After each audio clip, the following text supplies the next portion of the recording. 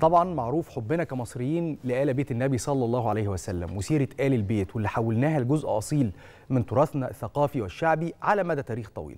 عشان كده بنلاقي دايما آه، في حالة وصال دائمة لا تنقطع ما بين المصريين وآل بيت النبي ومساجد آل البيت.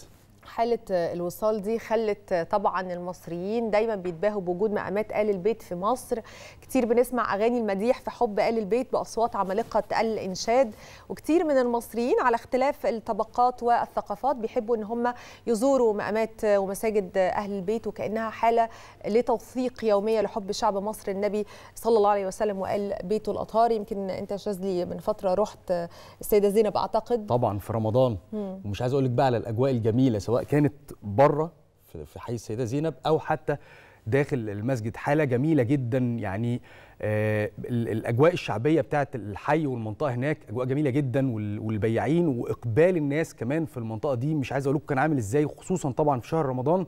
إحنا صلينا هناك التراويح كنت أنا وزميلنا محمد عبده وخدنا جولة كده بقى في السيدة وصلينا هناك التراويح وقد إيه الناس كانت متعطشة لإعادة افتتاح ال- الم- المقام من جديد وكانوا فرحانين جدا بالتطوير اللي حصل في المسجد. وحضور الناس بقى يعني طول ما إحنا قاعدين في المسجد جوه يا بسنت الناس عمالة توزع علينا بقى آه، حلويات وشوكولاتة وتمر وعصير ومية النا- والناس مبسوطة والناس وشها بشوش الناس فرحانة إن هي موجودة في المسجد.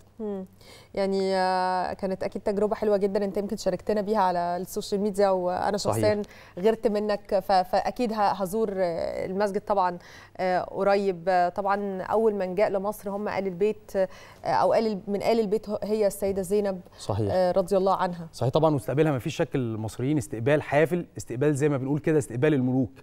وهي كمان دعت لأهل مصر بالبركة وقالت يا أهل مصر نصرتمونا نصركم الله وأويتمونا أواكم الله وأعنتمونا أعانكم الله جعل الله لكم من كل ضيق مخرجا ومن كل هم فرجا طبعا آل البيت جاءوا إلى مصر بعد نصيحة سيدنا ابن العباس لما قال ليهم اذهبوا إلى مصر فإنهم يحبون الله ورسوله وآل البيت. آه، طبعا وبالفعل وجد آل البيت من المصريين كل التقدير وكل الحب آه، اللي تحولت بعد كده لحالة من العشق وعهد لا ينقطع من قلوب المصريين.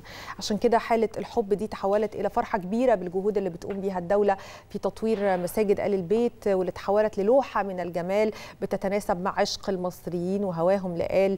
آه، البيت عايزه أقول لك آه، الترويج للسياحه الدينية دي حاجة مهمة جدا طبعاً. في مصر. إحنا عندنا آه، أماكن عديدة جدا بتخص السياحة الدينية.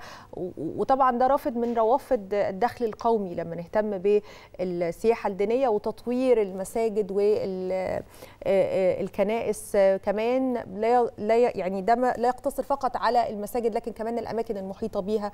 ف... فده من الحاجات الإيجابية جدا.